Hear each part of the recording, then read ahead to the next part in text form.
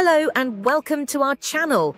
Today, we're breaking down the latest updates on Special Counsel Jack Smith's effort to prosecute former President Donald Trump for alleged election subversion.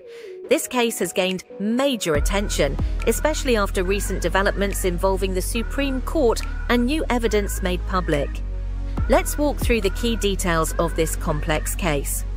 Special counsel Jack Smith is building his case against Donald Trump, arguing that Trump acted as a candidate, not a president, when he allegedly tried to overturn the results of the 2020 election.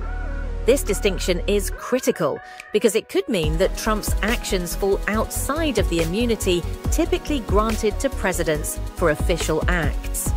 Smith claims that Trump's attempts to interfere in the election were private crimes, much like those any other citizen would be tried for. However, U.S. District Court Judge Tanya Chutkan must now decide whether Trump's actions were part of his official duties as president or not.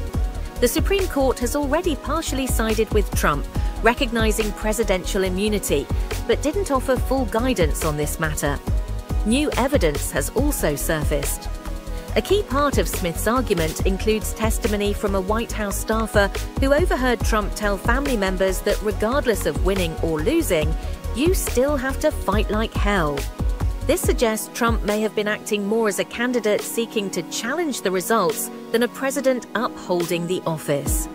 In another important detail, we're learning more about Trump's interactions with his vice president,